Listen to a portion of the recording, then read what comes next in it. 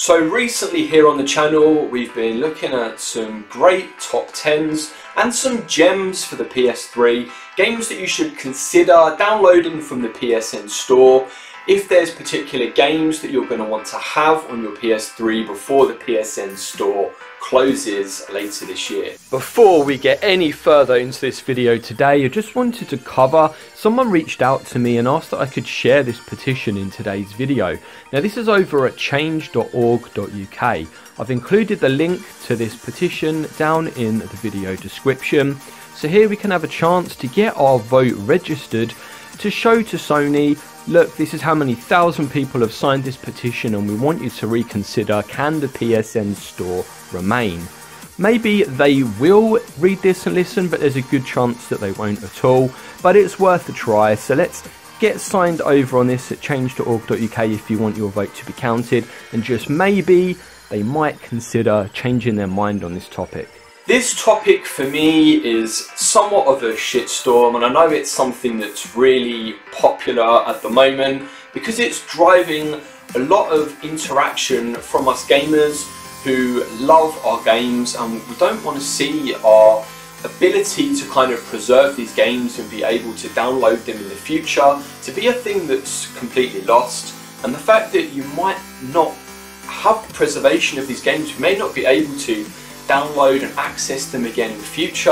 And what happens if there's issues with our consoles? They get corrupted or the internal clock dies and then you potentially are then no longer in the future able to connect to Sony to actually even be able to play the games that you've already downloaded. So the PSN is really popular, um, loads of us gamers add to our digital libraries I mean, I personally am a physical gamer. I try to stick to a lot of physical media, but that's probably one for another video. Today we're focusing on digital content. So I think we all kind of realise that when you're buying digitally online, you're kind of purchasing a license to be able to play said game, and you don't actually own it.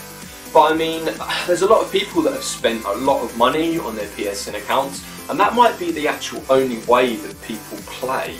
So the fact that you no longer are going to be able to purchase those games in the future, or we know there could potentially be issues with the console where you might not be able to play them at all, is just quite a worrying thing. For me, that's something I take a big issue with, but at the same time, it's like, honestly, I made a top 10 gems video only a couple of weeks ago, and I actually downloaded myself a couple of the PS1 gems that I didn't have in my library, and I needed that to actually be able to A, make the video and B, because I did want them in my library but it's so so worrying guys that here in the UK, in the UK store, some of the PS1 classics have started to disappear already.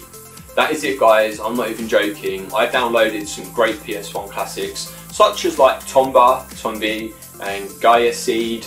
There are a couple that I have seen, they're really really rare physicals, they're very expensive to pick up so to download them to have them on your console is a really good way to play those games. But for the UK store, they have gone already. Within weeks of the news coming out about the rumours of the PSN disappearing, why at this point have they started removing these games from the UK store? Why only the UK store? Are they next going to hit the US store, the North American store, the Japan store? Like, a lot of us personally don't know what is going on. Why is there this panic?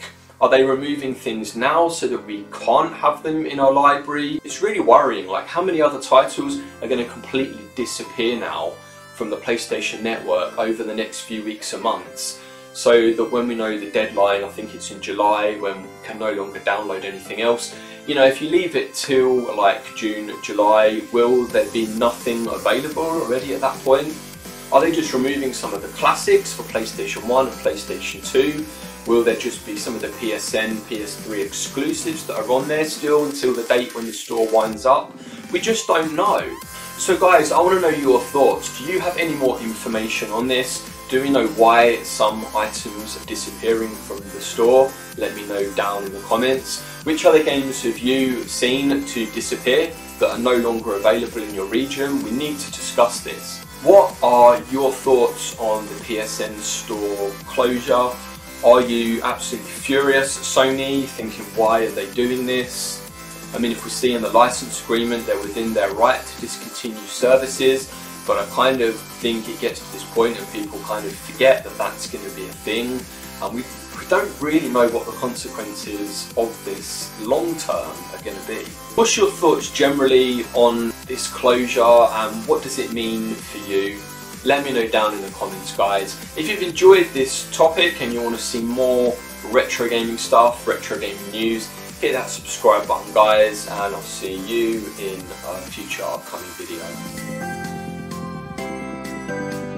Yes, mate.